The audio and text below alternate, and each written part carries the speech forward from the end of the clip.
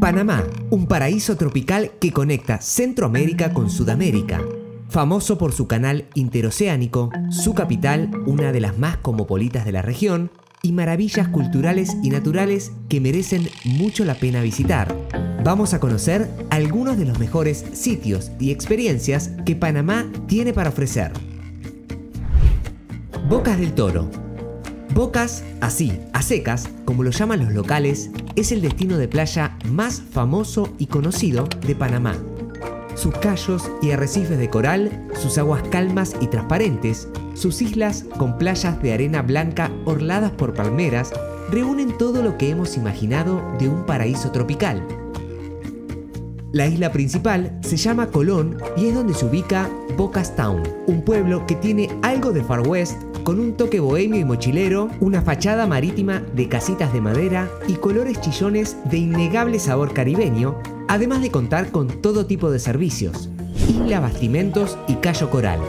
Si en Bocas del Toro buscas algo más tranquilo, tu sitio es Isla Bastimentos. Es menos concurrida que Isla Colón, pero a su vez tiene muchas cabañas y hotelitos sencillos donde alojarse. Entre sus bellísimas playas se destaca la famosa Red Frog o Playa Tortuga, a la que solo se puede llegar en barco o caminando durante dos horas. Pero si te va más el retiro y la soledad, puedes alquilar alguna de las cabañas tipo Falapito que hay sobre el arrecife coralino en Cayo Coral, a 20 minutos en lancha de Bocas Town. No hay electricidad en el islote ni población alguna. Cuando a media tarde se vayan las últimas embarcaciones que traen turistas a comer en el único restaurante del lugar, sentirás que estás en un paraíso terrenal o al menos en un trocito de él que ha sido reservado solo para ti. Gunayala. Gunayala es la tierra de los indígenas Guna que desde los primeros albores de la República lucharon contra el poder central para mantener vivas sus costumbres y estilo de vida. Estos derechos fueron definitivamente reconocidos en 2001 y en virtud de ellos, los gunas se rigen de acuerdo a sus propias instituciones especiales y se necesita su consentimiento para cualquier proyecto que pretendan desarrollarse en sus territorios. Esto incluye al turismo, que es gestionado por gente local y no por tour operadores. Los viajeros que visitan Gunayala van en busca del contacto con una cultura local y por la posibilidad de compartir una experiencia diferente. Te alojarás en pequeñas cabañas que gestionan las familias de las comunidades. Las islas son paradisíacas, pero que nadie espere un resort de lujo con infraestructura 5 estrellas. La experiencia con los Guna es otra cosa y conviene saberlo antes de ir. El territorio Gunayala está formado por una estrecha franja de tierra continental de algo más de 300 kilómetros en la costa del Caribe, cerca de la frontera colombiana, y 365 islas cercanas, 36 de las cuales están habitadas. Reserva Forestal Fortuna. Panamá tiene de ancho entre 50 y 200 kilómetros, pero se eleva hasta los 3.475 metros de altura gracias al volcán Barú. ¿Imaginas los tremendos desniveles que tiene y la cantidad de variaciones climáticas? Puedes estar en un ambiente caluroso y soleado en Bocas Town y pasar a otro escenario fresco de bosque nuboso y húmedo en una corta distancia. Esta reserva comprende casi 20.000 hectáreas de la cordillera central panameña y está considerada una de las zonas del trópico con mayor diversidad biológica del bosque húmedo montano bajo. Así de verde es el corazón de Panamá, un país donde el bosque cubre aún el 40% de su superficie pese a las masivas deforestaciones de estas últimas décadas. Parque Nacional Soberanía para disfrutar la exuberante naturaleza que envuelve a Panamá, no hay que irse muy lejos. A solo media hora de los rascacielos y autopistas de Panamá City se abre uno de los espacios protegidos con mayor diversidad de aves y floras, el Parque Nacional Soberanía, Ocupa por las riberas del canal, desde Limón, en el lago Gatún, hasta Paraíso. Todas las agencias de viaje de la ciudad organizan excursiones de día para ver el Parque Soberanía. Encontrarás un denso bosque tropical en muy buen estado de conservación en el que viven más de 500 especies de aves. Hay muchas sendas señalizadas para recorrerlo a pie y el lugar más recomendable para apreciar su inmensidad es la torre de observación del Rainforest Discovery Center, un proyecto de ecoturismo y educación ambiental con un imponente mirador a 35 metros de altura sobre la canopia de la selva. Golfo de Chiriquí.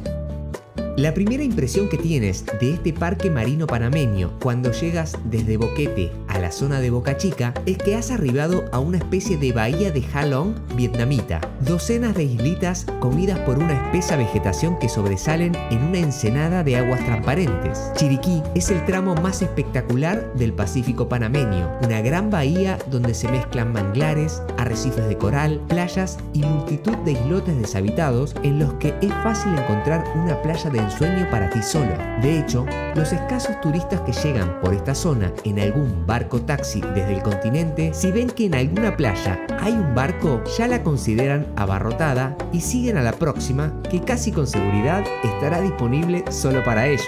Buena parte del Golfo está protegida por la figura de Parque Nacional Marino, célebre por su rica vida marina. De agosto a octubre se pueden ver ballenas jorobadas, tortugas, tiburones, delfines y muchas otras especies. Para alojarse y explorar el Golfo de Chiriquí, el mejor centro de operaciones es Boca Chica, una pequeña aldea de pescadores donde encontrarás la mayor parte de los servicios turísticos. Museo en Isla Coiba y surf en Santa Catalina.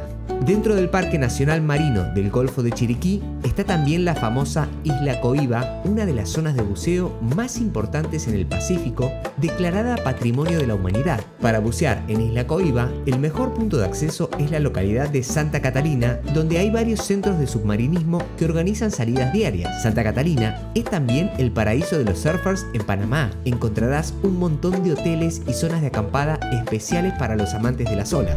Portobelo Dejamos el Pacífico para cruzar el país hacia el norte y llegar al Caribe. Allí se encuentran algunas de las mejores playas del país y también fuertes que recuerdan el paso de los conquistadores españoles por Panamá. Uno de estos lugares es Portobelo. Cuando llegas allí y ves esa bahía en la que el azul del Caribe se funde con la vegetación que llega hasta el mar, es imposible no enamorarse. La localidad es pequeña, tranquila, con cierto aire decadente que le añade encanto restos de fuertes que protegieron la ciudad del asedio de piratas, el edificio de la antigua aduana, pequeñas iglesias coloniales y un colorido arte urbano esperan a quienes se animan a llegar a este lugar alejado de las rutas más trilladas de Panamá. Emberá Uno de los siete pueblos indígenas que habitan en Panamá son los Emberá. Originarios de Colombia, hoy comprende unas 68.000 personas que viven en tierras panameñas. Una buena opción para conocer este pueblo y sus costumbres es sumarse a una excursión hasta Emberáquerá, un poblado en el río Gatún. Se puede conocer sus viviendas, huertos, gastronomía e incluso las escuelas. No va a faltar oportunidad para poder conocer y llevarte alguna de las artesanías que ellos mismos realizan. Boquete Situado en la vertiente del Pacífico, Boquete es un curioso pueblo de montaña a 1200 metros de altitud, lo que le confiere un clima y una temperatura media envidiable. A Boquete se viene, además de por el clima, para hacer tours por haciendas cafeteras y para disfrutar de deportes de aventura y de aire libre, tirolesas, puentes de Himalaya, senderismo, es la capital panameña de los deportes de aventura. Panamá Viejo, probablemente uno de los sitios históricos más importantes de Panamá. En este punto se encuentran varios monumentos y museos, entre los que se destacan el Museo de la Plaza Mayor y las ruinas de Panamá Viejo. Además, desde varios puntos se puede apreciar una hermosísima vista de la bahía, por lo que es un gran lugar para tomarse una selfie y tener un hermoso recuerdo. Un sitio que deberías visitar dentro de las ruinas es la Torre de la Catedral. Este monumento histórico fue renovado para convertirse en un mirador. Desde una altura de 30 metros, aquí sí podrás ver el impresionante paisaje que brindan los edificios de la ciudad moderna y el casco antiguo. Visitar el Canal de Panamá. El Canal de Panamá es uno de los lugares más visitados del país. No importa si te gustan o no las grandes obras de ingeniería, tienes que ir sí o sí. Y es que por mucho que hayas oído o leído sobre esta impresionante obra de ingeniería, ver cómo pasan los barcos desde lo alto del mirador es sorprendente. Aunque no tenga la fama que tienen otros países, no pasa desapercibido. Su marcado contraste entre historia y modernidad, sus playas, su gastronomía y una actitud de constante superación han puesto a Panamá en la lista de los viajes que no podemos perdernos. ¿Listos para conocerla?